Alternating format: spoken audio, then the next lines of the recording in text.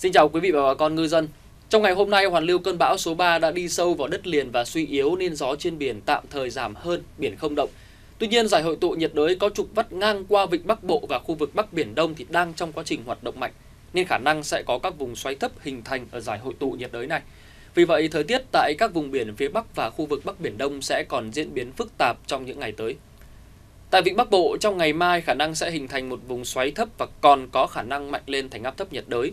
Vùng biển lại chuyển rất xấu, mưa rông mạnh kèm theo gió xoáy và biển động mạnh sẽ lại xảy ra nên các tàu thuyền thường hoạt động tại đây cần hạn chế ra khơi để đảm bảo an toàn. Tại vùng biển phía Nam trong khoảng 3 đến 5 ngày tới dưới tác động hút gió của giải hội tụ nhiệt đới cũng khiến cho gió mùa Tây Nam tiếp tục hoạt động mạnh.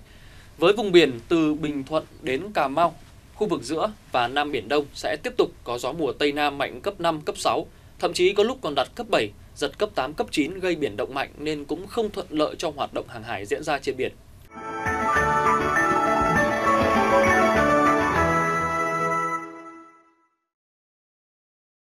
Tiếp theo sẽ là phần dự báo chi tiết cho các vùng biển trong 24 đến 72 giờ tới.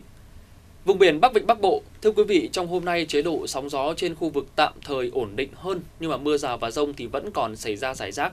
Dự báo khả năng từ ngày mai trên vùng biển này sẽ lại chịu ảnh hưởng bởi một vùng xoáy thấp hình thành ở giải hội tụ nhiệt đới. Thời tiết lại chuyển rất xấu, mưa rông mạnh, gió xoáy và biển động sẽ lại gây nguy hiểm cho các hoạt động của tàu thuyền.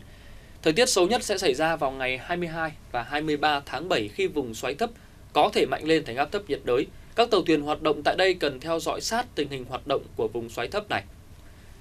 Tương tự như vậy, tại vùng biển Nam Vịnh Bắc Bộ, từ ngày mai thời tiết sẽ lại chuyển xấu, vùng xoáy thấp hình thành trên vịnh cũng sẽ gây mưa rông mạnh, gió xoáy và biển động, nên sẽ không an toàn cho hoạt động hàng hải diễn ra trên biển. Các chuyến tàu ra vào đảo trong dịp cuối tuần sẽ gặp rất nhiều khó khăn. Vùng biển từ Quảng Trị đến Quảng Ngãi, đảo Cồn Cỏ Lý Sơn, trong đêm nay và ngày mai thời tiết nhìn chung là vẫn còn ổn định, hướng gió thịnh hành là hướng Tây Nam có cường độ khoảng cấp 4 biển không động. Tuy nhiên từ ngày 22 tháng 7 trở đi thì gió Tây Nam sẽ hoạt động mạnh lên cấp 5, phía Bắc có thể đạt cấp 6, giật cấp 7, cấp 8, biển động. Xuống đến khu vực biển từ Bình Định đến Ninh Thuận và đảo Phú Quý. Trong đêm nay và ngày mai gió Tây Nam mạnh cấp 4 đến cấp 5, có lúc giật trên cấp 5. Trời nhiều mây nhưng mưa rào và rông chỉ xảy ra ở vài nơi nên cũng không gây nhiều khó khăn trong hoạt động của tàu thuyền. Xuống đến vùng biển từ Bình Thuận đến Cà Mau và Côn Đảo, dự báo trong thời gian từ 3 đến 5 ngày tới thì gió mùa Tây Nam cường độ mạnh liên tục duy trì trên vùng biển này. Cường độ gió vẫn đạt cấp 5 đến cấp 6, có lúc đạt cấp 7, giật cấp 8, sóng cao từ 2 đến 4 mét, biển động mạnh. Mưa rào và rông xuất hiện rải rác nên các tàu thuyền cần hạn chế hoạt động trên vùng biển này để đảm bảo an toàn.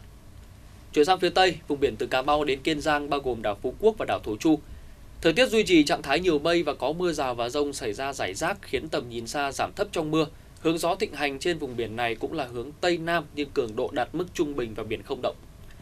Tương tự như vậy tại Vịnh Thái Lan, gió mùa Tây Nam duy trì cường độ cấp 4, cấp 5. Sóng cao từ 1 đến 2 mét, biển không động. Tuy nhiên mưa rào và rông vẫn xảy ra rải rác khiến tầm nhìn xa giảm xuống còn 4 đến 10 km trong mưa. Các tàu thuyền đang hoạt động trên vùng biển này cần đề phòng gió giật mạnh có thể xảy ra trong cơn rông.